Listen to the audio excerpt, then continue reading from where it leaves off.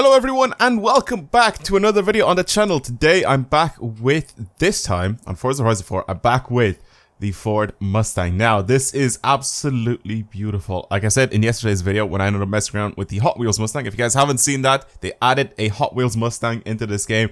Go ahead and check out that video. It is absolutely brilliant. I'll show you how to get it pretty much in that video. So if you want to see it, if you want to go ahead and try to get it for yourselves, then feel free to check that video out. But today's video, I'm going to be taking a look at a couple of the new cars that came out with this week's Car Pass or this week's DLC with the season change pretty much. So one of them being this Mustang Fastback, which is absolutely gorgeous. I am in love with this car. It's it's so good looking. There's everything about it is just so so nice looking. I've always loved the Fastback Mustang, and it's um it's finally in the game, and we get to drive it, and I get to see what it's like. So, what my plan was for this thing is to get it to slide a little bit, but I'm not going to go ahead and give it like a lot of horsepower. I'm not going to go ahead and engine swap it. I'm not going to give it like a huge amount of horsepower. I'm going to go ahead and increase the horsepower slightly. I'm also going to try keep it looking as close to stock as possible. Um, now, the reason why I say I want to raise the horsepower, I want to increase the horsepower a little bit is because in this game, obviously cars that, that are old especially, as you can see, they are fairly slow compared to some of the newer muscle cars. And of course, that doesn't mean that this is incredibly slow as a car itself or that all cars are slow. It's just that obviously in this game you're used to driving stupid thousand horsepower cars all the time. And driving a car like this, it's it's kind of a oh god. It's different. Let's just put it that way. It's different. The tires are incredibly thin on this thing. Let's try to get this thing to oversteer a little bit ever so slightly. It's like lacking so much power. You can get it to oversteer though if you go a little bit too fast to the corner and then put the power down. Especially on the way out. It will it will end up oversteering, but obviously as you can see it's struggling to get those rear wheels to spin. So that's what I mean, like I want to get a little bit more power into it. Also, this thing you go to a corner, you start braking, shifting that weight because the, the suspension of this thing is so soft. Shifting that weight around is just so much fun. In a car like this. I absolutely love this Mustang. It's so, so pretty. It's so good looking. There we go. Just shifting the weight with the brakes, getting it to oversteer. Look at that. Beautiful slide all the way. I had my foot, or my finger I guess, planted all the way there.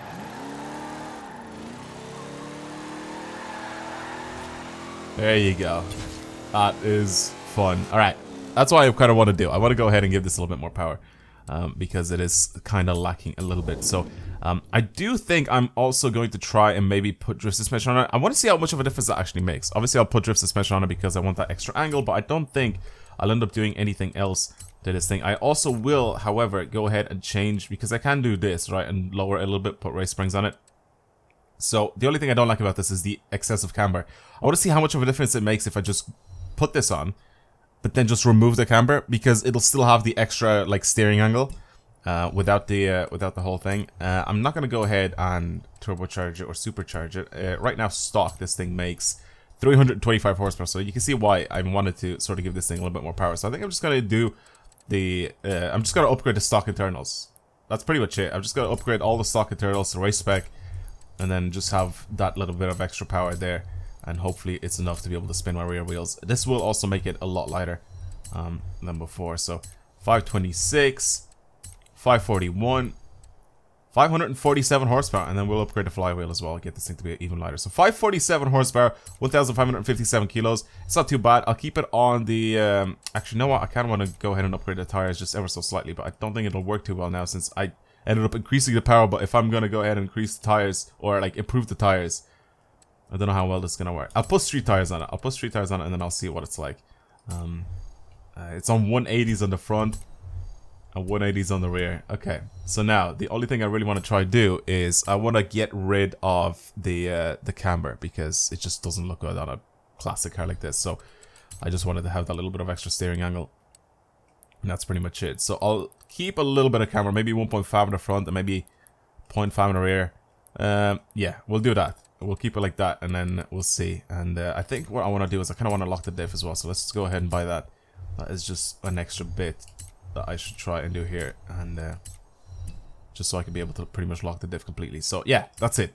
That's all I kind of want to do to this thing, and then I want to drive it because it is like, I don't really want to do much to this thing. I think what I'll do though, because the second car that we're going to end up taking a look at in today's video is going to be a Ford Transit, I want to have a look and see if I can do uh, anything to that. I want to go ahead and try give it as much power as possible. Just do loads of stupid things.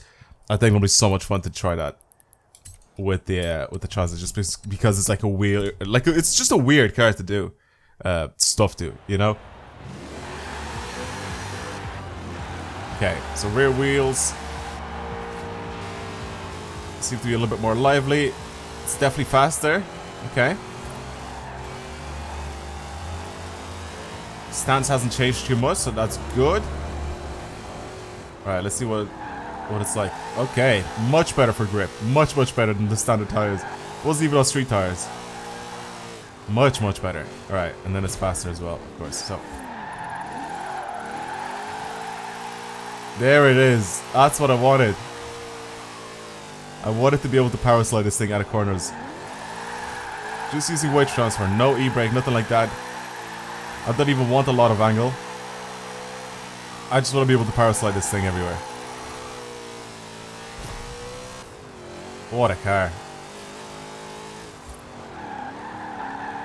I have been told before, I have been requested by people to like not do like full full blown builds on some of these cars and just go ahead and mess around with them stock or mess around with them just slightly modified and don't just constantly keep giving them a thousand horsepower or whatever, which uh, I agree. I'm gonna try to do that a lot more often now because it's just so much more fun to drive cars in, in their like natural state. Oh, it's so fun to drive, man. It's so smooth.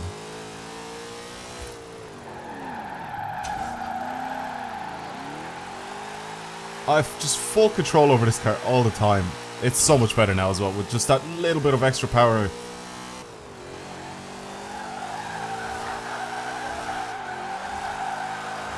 Oh, this is great. This is really, really good. God, this is lovely to drive. I honestly just want to keep driving this. I really want to keep driving this. Um, I think what I'm going to do now is I'm going to see what sort of uh, modification uh, options we can actually do to this thing visually, just so I can show you guys what it's like. Um, but I'm not going to go ahead and, and, put them on or anything like that. But uh, yeah, after that, I'll take out the Transit and I'll mess around with that. And I want to see what we can do to that. And I think with that car, I'll go ahead and I'll just give it the beans and just give it as much power as possible. I want to see what sort of engine swaps and things we can do to that. Um, but yeah, I think just so you guys can see, uh, maybe you guys don't have this car or whatever, maybe just so you guys can see, I'll show you guys pretty much everything that you can do to this car. Even though I should have shown you while I was still in the garage, if that makes sense. But yeah, anyway, I'll show you guys now. And... Uh, I'll move on after. So, if I was going to engine swap this thing, we can engine swap it with lots with lots of different engines. RB, uh, we have a Viper V10, we have a 7 liter V8, 6.5 V12, racing V8 as well. We have this 5.2 V8 as well. So we have a couple of different ones. Obviously, we can change to uh, all-wheel drive if we really wanted to, and then twin turbo it and do all that. Um, as for the uh, Okay, we can actually do some some things to this thing other than just the Forza parts. Okay, that actually doesn't even look that bad. To be completely honest, that looks terrible because it's just the Forza parts. I also don't really want to ruin the rear end of this thing. Okay, cool. And for the side, we can change our chrome out to just normal body paint. Okay, cool. And then for the front, it's just the Forza parts as usual. Uh, again, so as you can see, not really a lot of stuff that we can change on this thing, but yeah. Now, let's take out the Transit and let's see if this thing um, oops, clicked on the wrong thing. Let's see if this car... Here it is. The Ford... Tri what year is this from again? Was that 1965? This is so cool looking as well. It's a 1965 Ford Transit. How cool is that? Alright, visually, we can't really change a lot of stuff to it. We can just dechrome it, I guess, and then just put the Forza parts on it, which I really don't want to do um, with this thing. I, I'm going to keep it the way it is now. Obviously, with the newer trans, especially the Forza Edition, we can do some crazy, crazy things to it. Uh, which is probably what I'm going to do to this thing, is just give it as much power as possible and see what it can take. Um, it's still very light. Uh, I think I might go all-wheel drive just to make it more interesting. All-wheel drive, racing V8 in it, uh, I don't know what else to do. I kind of want to upgrade the tires, but I don't want to upgrade. Yeah, I'll do that. So I'll upgrade the tires to racing uh, to racing tires on this thing, but I'm not going to upgrade. Uh, I really kind of want to upgrade the width. Okay, so 175s. Okay, it doesn't go that thick. I, I thought that the tires are actually going to go a lot wider than the, uh, what was it, like 225s in the front. So 225s, 255s. Okay, okay, okay, that's fine. Because I didn't really want to ruin the aesthetic of this thing uh, fully, but I'm going to go ahead and just give it the beans. Just give it everything. Just throw everything in. I'm not going to change the wheels. I think from the exterior, this is going to be the most stock looking van pot. Oh, we can have just... Okay. We can have drift suspension on this thing. That is very, very interesting. That is very, very interesting.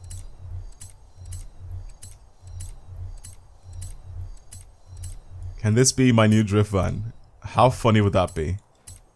All-wheel drive, racing V8, over a thousand horsepower, over a thousand three hundred horsepower, I think.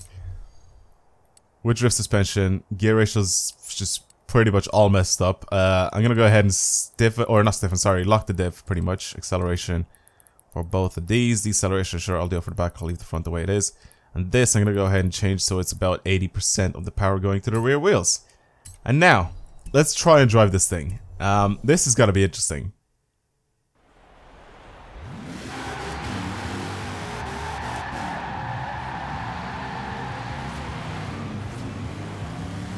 Gear ratios are very long. I'm doing like 120 miles an hour in third gear.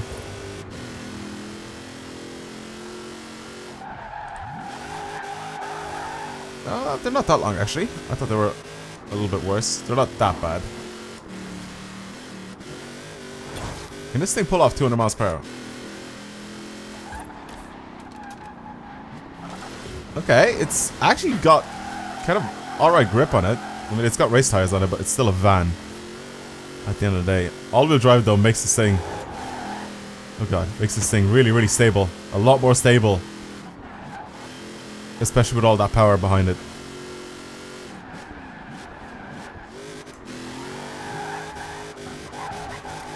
This is fun. This is really, really interesting. You know what I'm tempted to do with this thing?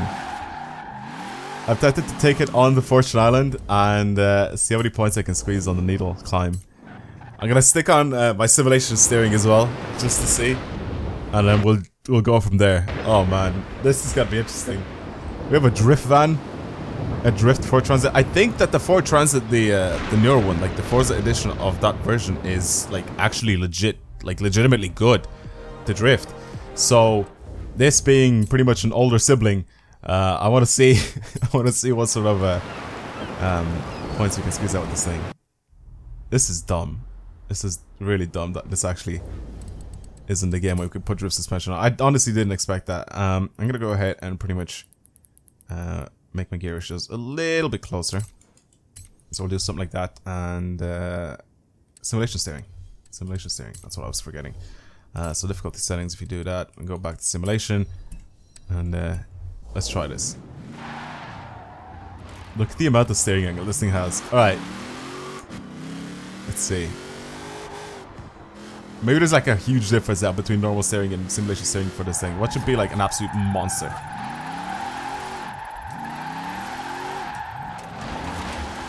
Okay, I want more power to the rear. I want more power to the rear. The front pulls in way too much. Let's make this maybe like 90, 95. Let's do that. Even though we'll have like a little bit of power going to the front wheels.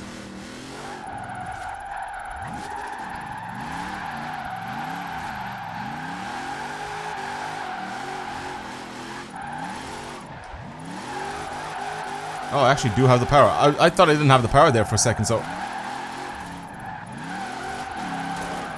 Oh my god, Ford... Okay, let's just restart this all over again. I'm I'm kind of figuring it out that it actually dro like actually drives really well.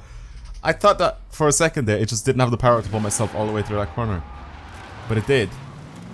And I started using my handbrake when I just didn't need to. I just obviously didn't expect this thing to be the way it is. Alright, let's try this again. Throw it in nice and hard.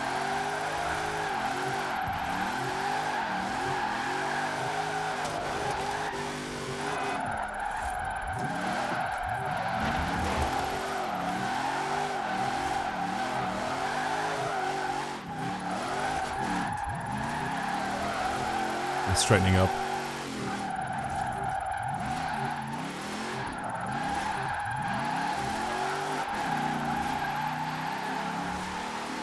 Wow, fourth gear has the power as well. Even fourth gear has power in it. Oh my god, the angle. Okay, again, I'm very, very slow, very, very slowly finding out that this thing's an absolute monster to drift. I think I should change my gear ratios a little bit further back. I made them a little bit too short. Well, third gear anyway. It's a little bit too short, I think.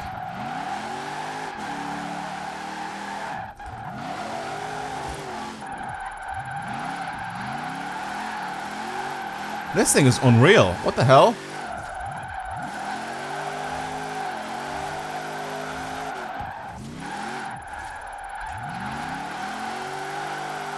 Oh my god, look at that angle. What just happened?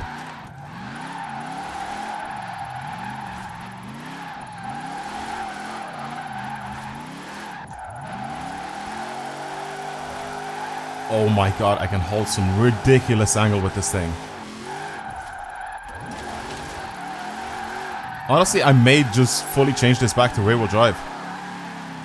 Oh, I was actually looking forward to getting like 500,000 points with this thing. What a car, like van. I was about to call it car. What an absolute beast. I did not expect that whatsoever with this guy. Oh god, I went a little bit too fast, but it's fine. I'm still held. Oh, I still held onto it. I can't believe how smooth this car actually is to drive. Van, whatever. And the points. You just get so many points with it. This is a joke. Oh, I've lost it. I've lost it. It's fine. Caught it back on again. Terrible, terrible, terrible. I was actually hoping... That's terrible. I, I can't believe I, how badly I decided to just end this whole run after I've done such a good job at being composed and keeping it all together.